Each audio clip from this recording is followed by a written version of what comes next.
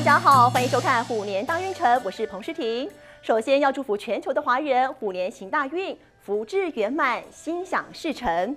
在金虎年呢，大家有没有非常期待一个新的目标或者是一个新的愿望能够实现？我们要达到目标，除了要靠自身的努力之外，运势也非常的重要。如果有好的运势，可能会一分耕耘十分收获。我们今天非常开心，邀请到台湾非常知名的开运大师詹维忠，欢迎大师。主持人，大家好，生意兴隆，平安喜乐，虎虎生威。好，老师，我们今天的虎年大运程呢，我们要跟大家讲的是十二生肖的最后三个生肖了，是，就是鸡、狗、猪。我们先来看看鸡，属鸡的朋友在虎年的运势如何呢？好，我们先带大家来看的是，好哦，还不错哦，身体健康，然后要大家多多的重视养生，充足的睡眠就可以保持平安。对，讲到鸡，应该讲咕咕咕咕，呃咕咕咕咕，这样印象才会深刻，好不好啊？那个生十二生肖谈的时候要配一点动作。老师，那你都会数到猪的部分呢？哦，这配合度一定要高，他印象才会深刻。因为其实身体有疾病是生老病死是难免的，每个人在生活当中每一年都会有病痛。那如何在这个病痛当中来提醒不同的生肖，才是我们真正要做的功课。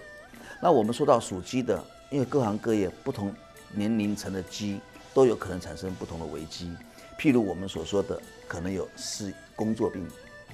那工作太劳累的鸡，狗狗给，你是不是要注意到不要超时工作？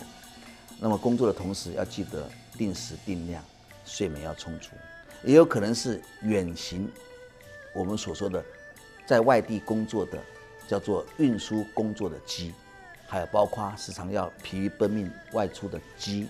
那么这个生肖属鸡的人，针对到病痛，我要提醒你，交通的安全是不是更加要谨慎？也许你有属鸡的爸爸或妈妈，在这年当中，他们的身体可能有小小的旧疾会复燃，那么你提醒跟保养还有养生都是非常重要的。从亲子关系来看，家中所有的生肖都有可能产生鸡的变化，那么这时候要提醒小孩子的感冒啦，包括夫妻太太的妇女疾病啦，先生的生活习惯饮酒作热过度啦，也是产生我们所说的疲劳的问题。都要小心翼翼，步步为营。所以讲到病痛，最可怕的就是忧郁、躁郁。怎么办呢？睡眠、睡眠、睡眠。只要有很好的睡眠，忧郁、躁郁，我觉得都能够做更大的舒缓。大师，我觉得现在很多年轻人啊，还有现代人，常碰到一个问题，就是常常睡眠障碍，是就睡不好，才导致后面很多什么忧郁啦等等的状况。对啊，像睡不好的原因，有的可能是白天睡太饱。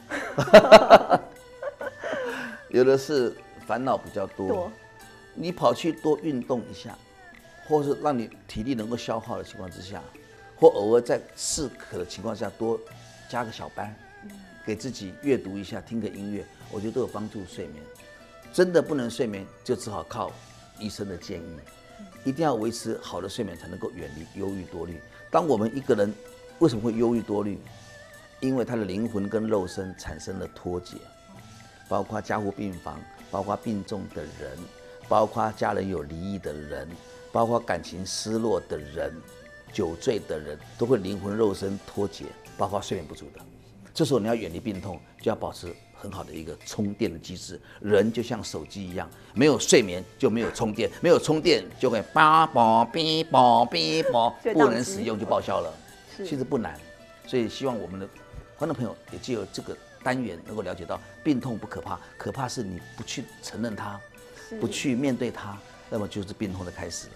那包括生活习惯呐，呃，肝病呐、胃病呐，都是造成一些有前因后果的。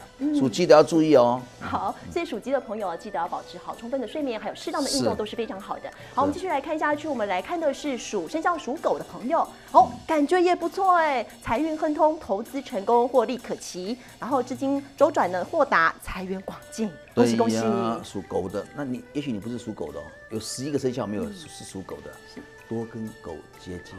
要找好狗，好不好？有的是。如果是我妹妹属狗，就多跟她亲近。那那那，她如果生活习惯很好，哦，学识各方面都很好，为人很端正，就抱着她大腿不要抱着。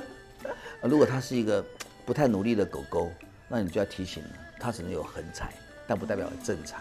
那你的员工有属狗的，也可以加以利用他的才华，增添你的一个我们说的一个辅助事业的钱财。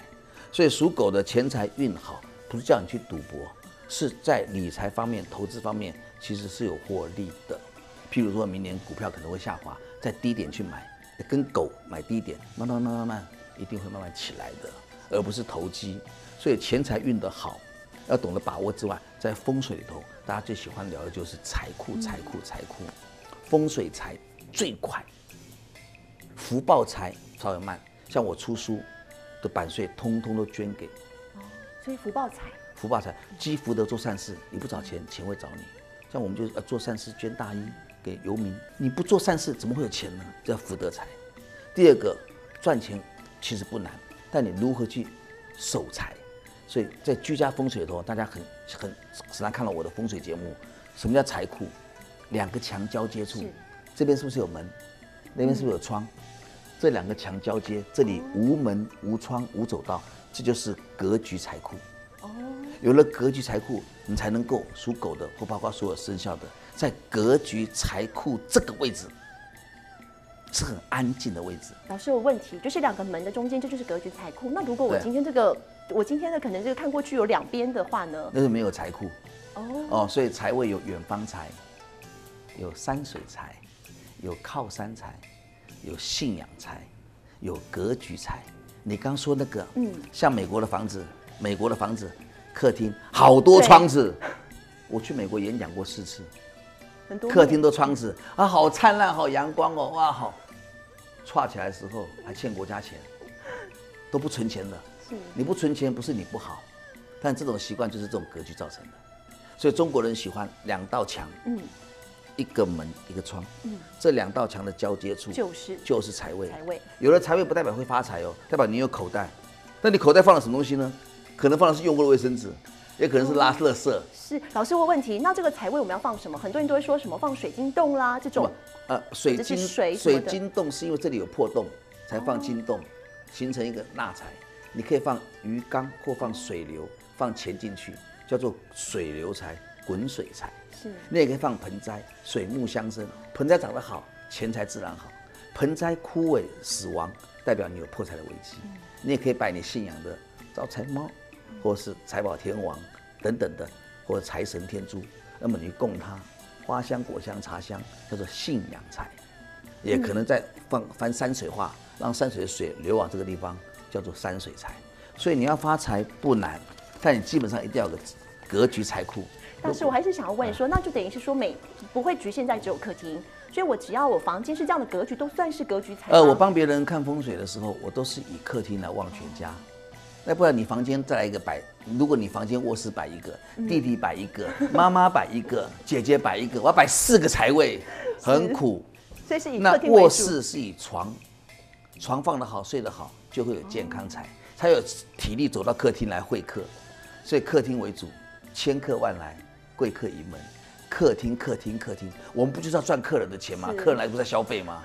合理吧？是是，我们先非常谢谢老师的这个风水偏方，我们继续来看下去。来，十二生肖最后一个生肖属猪的朋友，好，属猪的朋友在虎年的运势如何呢？哎，感觉也很好哦，求职可成，五子登科，对，好，生育升职，生命有提升，小孩互动运势也很好。属猪的叫做六合，六合正好走在子女宫，子女宫代表的就是老的、老的年纪大的猪，代表五子登科、承欢膝下；新婚的猪代表受孕成功、传承后代；啊，年轻没有结婚的猪代表房事、床事顺利、性爱圆满。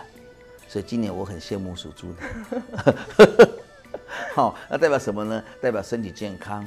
在那方面的活动特别的热络，但是在那个活动的同时也要负责任，所以属猪的身体健康、生育能力提升，然后要要有一个要有一个后代的延续，也是加分的，也代表新婚前恋爱中的你能够让对方如鱼似水般的如鱼水之欢，也能够得到满意。所以大师，让属猪的朋友在今年的桃花运就不错喽。如果照这样的一个说法，你讲到重点喽，桃花有主动桃花、被动桃花，还有肉身桃花。还有兴趣桃花，还有职场桃花，还有远行桃花，它比较属于是属于一夜情的桃花，啊，这种属于我们说的叫做瞬间的邂逅，瞬间的来来来来来快去快的，要稍微要有所谨慎。大师，我们刚刚有提到，就是生命有提升，这个意思是什么？是指说我的价值观，还是各方面哪个部分的生命提升？就是一个传承啦，这是讲好听话啦。那在如果很多人说，老师我怎么好像都不容易有这样的机会，那就卡到几个问题，可能是你的卧室的气场或太寒冷，气有的卧室太寒，这个都有原因在里面。是老师，那这样子的话，那个属猪的朋友的工作运呢？呃，它本身就是属于工作运。如果是你讲到工作，一定要跟小孩绑在一起。如果你的工作是小孩子传承，那么代表以子为贵，借子之力而使事业提升。那如果是你小孩还读书的话，你会以子感到骄傲，因为小孩的成绩让你觉得与有荣焉。啊，如果跟小孩并肩作战打拼事业的话，一起开店的话，也可以借力使力，多尊重对方。那么这个是子女跟事业绑在一起的一个最好的诠释。嗯，那老师，那这样子，这个属猪的朋友啊，这个金钱运的部分呢？属猪的金钱运的话，我觉得它本身所产生碰撞的，不像属狗的这么旺。它比较属于是家人和乐啦，亲子关系互动加分。那么在这个同时呢，我们说的就没有家家和万事兴嘛。那么家人的互动、亲子关系好，和和乐乐的，当然钱财运就有了，就是可以我们说的家族财、家人财、家人和乐、买房、创造事业，都是一个属于并肩作战的好财运。嗯，所以那大师，那属猪的朋友在健康的部分呢？属猪的话，因为它本身你也知道，我刚刚所说的水可载舟，亦可覆舟嘛。因为房事顺利，但是量力而为啦。有时候哈，该休息的时候要休息，免得妇女疾病或是泌尿系统的的受的一个受损是有可能的，有可能的。今天谢谢大师的解析还有建议。十二生肖的运势已经全部讲完了，明天的虎年大运程呢，就要带大家聊的呢是生肖的开运法，相当的精彩，千万不要错过喽。